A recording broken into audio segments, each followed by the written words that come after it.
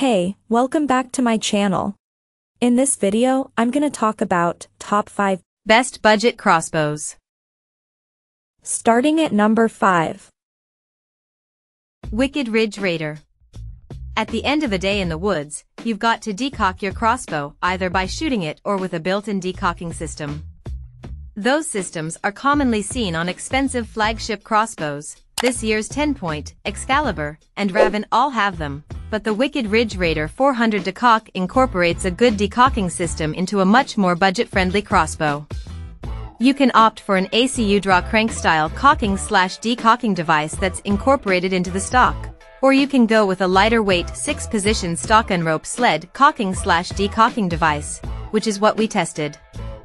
Decocking with the latter is simple. With the crossbow at full draw, you simply hold tension on the sled, press the decocking button, give the sled a little pull, and then slowly lower the string. The Raider 400 decock also comes with a ProView lighted scope, quiver, and three arrows. Coming at number 4. Barnett Hyper Raptor.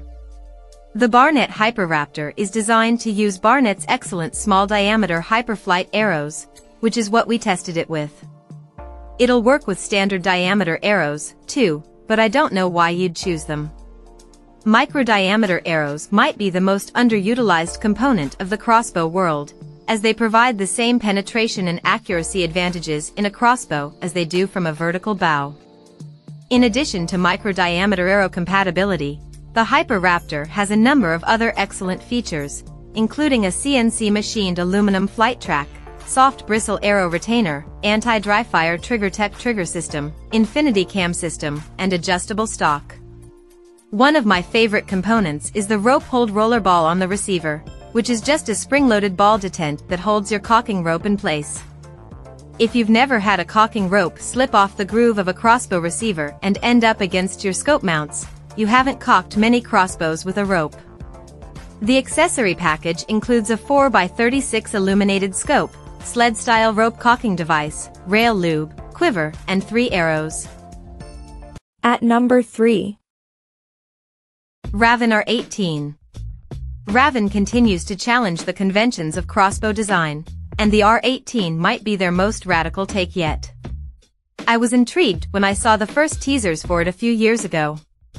Production issues made this crossbow slow to hit the market, but we finally got our hands on one for review. Most think of crossbow limbs as being either forward or rear-facing, the R18 limbs are neither.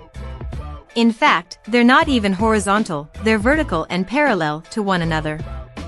When the R18 is cocked, the limbs flex along the crossbow's barrel like a pair of St. Louis arches, and they snap upward when fired. This allows for an extremely compact package. The vertical limb design is possible thanks to the new Verticoil cam system, which rotates the enclosed cam 720 degrees and compresses the limbs. One could argue that since the limbs aren't horizontal, the R18 is technically not a crossbow at all. Just don't carry on about that and then complain because nobody invites you hunting. The R18 package includes a removable stock, 3-dot reflex sight, cocking device, three 16-inch arrows, and a quiver. The R18 averaged the biggest groups of the crossbow test by a good margin, probably because it was the only crossbow tested that didn't have a scope. Some people love red dot sights for hunting. I don't, and would in fact prefer iron sights. Well, put a scope on it, you might say, but that's not possible on the R18, due to the tiny optic rail. Number 2 of my list. Excalibur Assassin Extreme. The Excalibur recurve design has changed little over the years, mostly because it doesn't need to. There have been ultra-compact models and a twin-shot model, and the bows have employed various cocking devices, some of which worked better than others to load those heavy limbs. But generally, you know what you are getting with this simple, rock-solid crossbow. The 2023 Assassin Extreme features the Charger crank cocking system, which is integrated into the stock and is the best Excalibur has offered to date. The Assassin Extreme comes with the company's usual outstanding accessories, including a 30mm Overwatch scope, quiver, 16.5-inch arrows, and sound dampeners.